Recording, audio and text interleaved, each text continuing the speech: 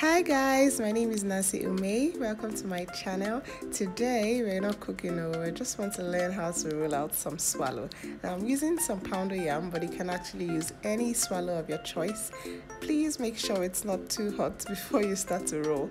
You basically need a cling film or a nylon bag or cellophane bag that has been cut into two, so it's really long. Now, take your um, rolling pin and then just roll it into a nice long let's say rod now.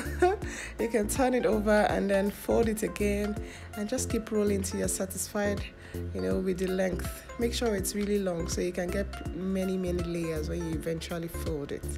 So roll roll roll roll and then keep folding and rolling till you're satisfied until it's very smooth.